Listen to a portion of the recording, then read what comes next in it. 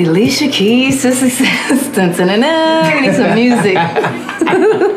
need some music for that. People always told me like, don't you, you know, you should be wearing dresses and be, and it just like wasn't really, was never my thing. As long as people are like, I, un, I feel you. Mm. That to me is the most important thing. I do believe that you can have it all. You can have everything that you want, you know? She's an American singer, songwriter, pianist, actress, record producer, and philanthropist.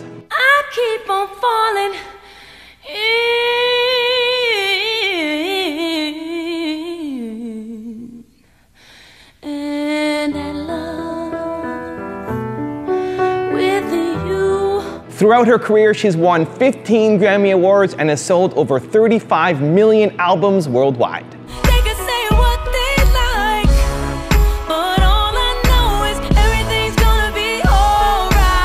Billboard magazine named her the top R&B artist of the 2000s.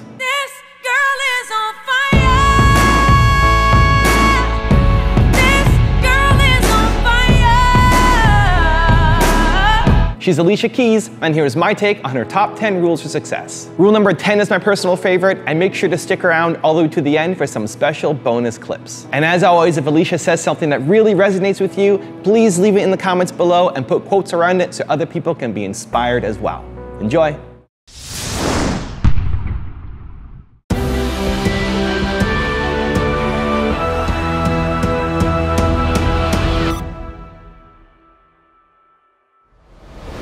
So, what are the Alicia keys to success? The Alicia Keys to success. Dun, dun, dun, dun. We need some music.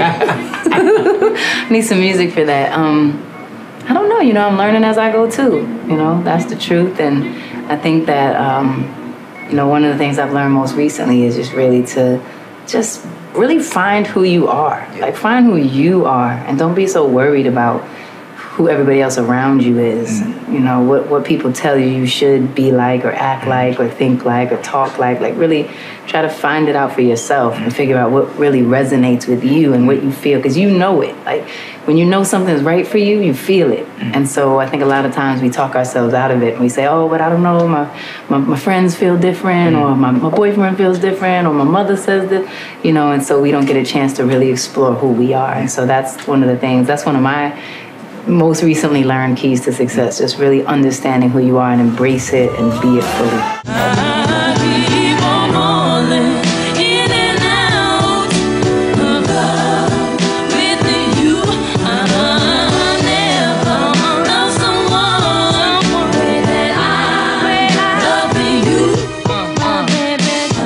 When i sing that song every night i'm like wow.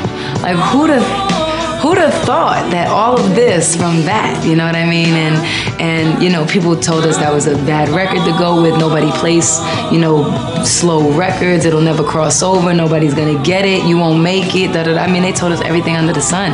But it felt good and it felt special. And when people heard it they were moved. And you know all the pieces just fell into place. So uh, it's definitely you know my calling card. It's like my my little baby you know and i and i cherish and respect it I love this song, Girl on Fire. They all mean something and they all came from something, but Girl on Fire is is definitely ill. It came from this interview that I did. I was reading it and she said something like she's like a girl on fire and I was like, "Uh." I was like, "I love that." We were in the studio one day and I was working with Jeff Bhasker and Salaam Remi. I was like, you know, I've been wanting to write this song called Girl on Fire. I'm like, what does Girl on Fire sound like? Somehow we start kind of tossing around these ideas and thoughts, and these different sounds come out and these different things come out. Eventually, we came to the chords that are that are Girl on Fire, and um, I, I guess you'd want me to play the chords. So the chords are like, you know, pretty, you know.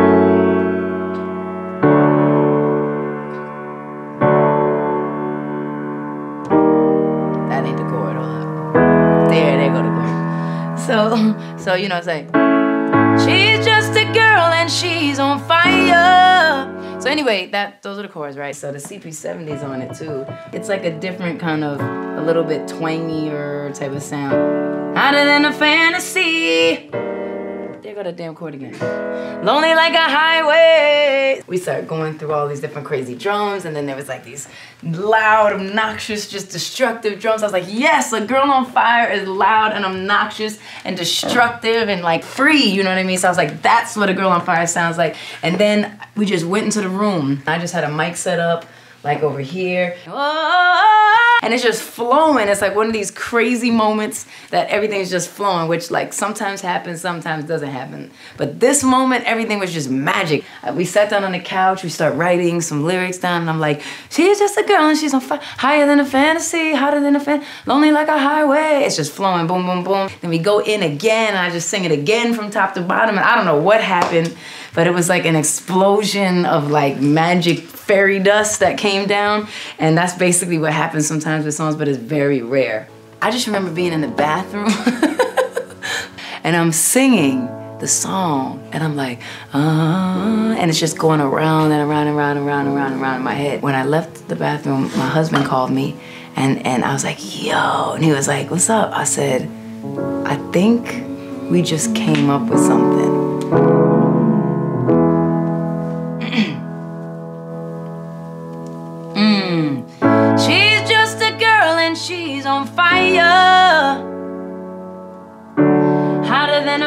A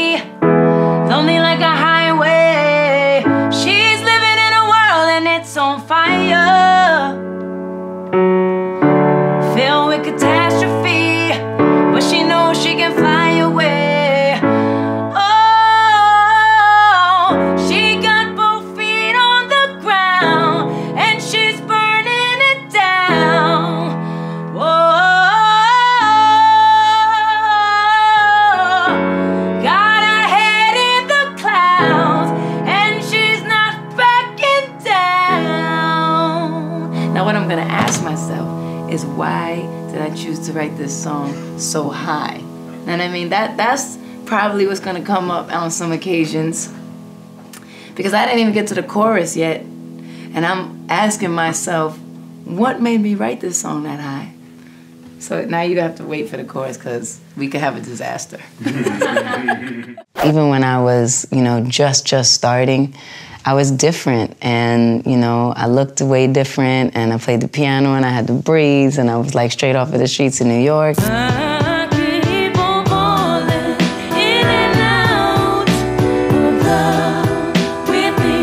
People always told me like, don't you, you know, you should be wearing dresses and be, and it just like wasn't really, was never my thing. Like my thing, I wanted to be the everyday girl that I was, and be able to relate to other women and girls, and and be able to just like be who I was, because I didn't see myself. Um, in the music or in the entertainment world or whatever. And so and so now I feel like I have actually really come back to that place and really recognizing, you know, I, I've always been that person.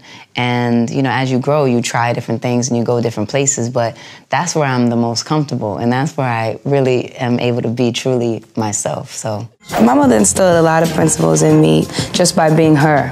But, but one of the things that she helped inst- instill in me was also just to, um, you know, see things through to the end. You know, don't give up halfway in the middle just because you tired. You know, see it through. So that's definitely something that helps me get through a lot of things.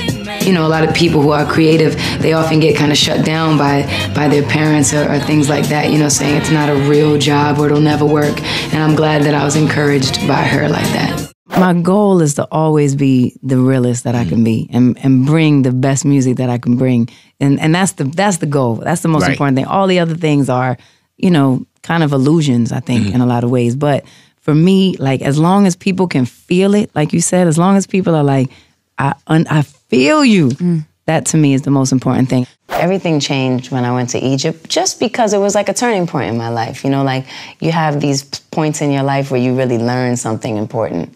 And that was a beginning of me, you know, one of my big lessons, which was about, you know, really um, even creating the life and the world that you want to live in. Like, you know, you don't have to necessarily do um, live in this life of chaos and, and, and, and unhappiness. Like, what, what is it that you, what life do you want to have and what life do you want to live? For myself at that time, that was the question. Because I was learning how to juggle my own personal life and my professional life and like how to be happy inside of it. And so that was a big lesson for me at the time.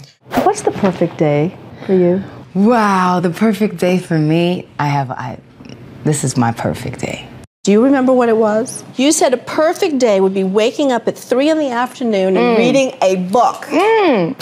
Still sounds perfect. Back then, and you tell me if I'm right, it did seem to be all about the work. Oh my gosh, you kidding me? I mean, it was totally all about the work. First of all, you know, I grew up with my mother, who was my everything, and a single parent, and she had to work her behind off. And so she also instilled that in me because being a young girl growing up in the city, I mean, you have to be busy or you're gonna get lost. What's one song that still has the ability to move you when you sing it? Every song has the ability to move me when I sing it, which is something I'm very grateful for because the songs that I write, they're very personal and they're very like emotional and I can I can understand them. You know, I, I can understand them even if the time has passed already, I can understand it. I have to say I'll probably say Fallin' is a song for me. Obviously I've sung it a lot, but there's a magic about that song that is just unbelievable.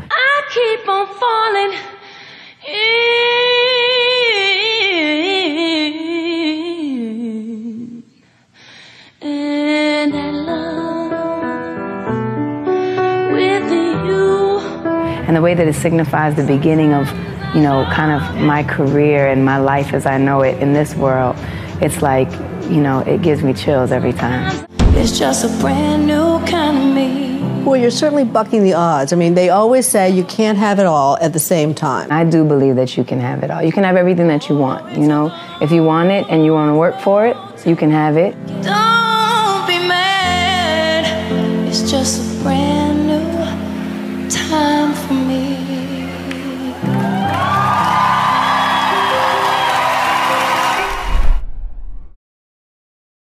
Thank you guys so much for watching. I made this video because a local fan stopped me in the store and said, hey, Evan, you gotta do a video on Alicia Keys. She's my favorite. So this one is for you, bro. Now, if you guys have a famous entrepreneur that you'd like me to profile next, leave it down in the comments below and I'll see what I can do. I'd also love to know what did Alicia say that really meant the most to you? What rule had the biggest impact on you and why? Leave it in the comments. I'm gonna join in the discussion. Finally, I want to give a quick shout out to Nancy Johnson. Nancy, thank you so much for picking up a copy of my book, Your One Word. It really, really, really means a lot to me. So thank you guys so much for watching. I believe in you. I hope you continue to believe in yourself and whatever your one word is. Much love. I'll see you soon.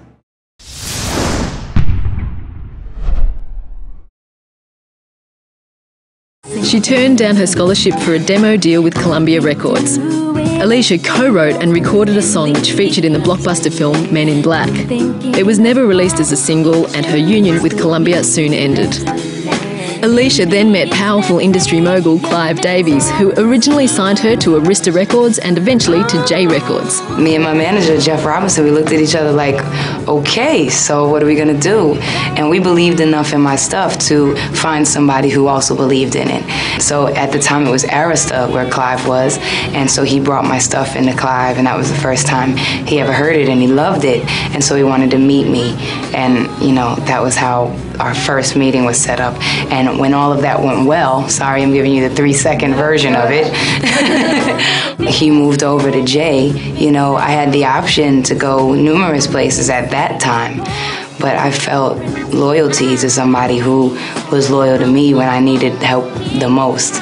And so we went over there with him. I just keep going forward with light, you know, positivity, good energy, you know, and I think that, um, you know, I, you really, I think you have to really protect yourself, you know, and you, you have to be cautious of your choices and stuff like that. But, you know, we're all human beings, you know, we're all human beings and no one's perfect, you know. So I just try to keep forward with light and love, and, and that's what I focus on. I just don't focus on the negative. Yeah, but girl can't be herself. It, I think that's just been something that's been on my mind so much, and that's part of what this album is all about. It's really, it really started from this place of completely taken down any walls, taken down any veils, any uh any reason to kind of not one thousand percent, you know, just speak truthfully to what I was feeling and what I feel like is happening around me and, and to us.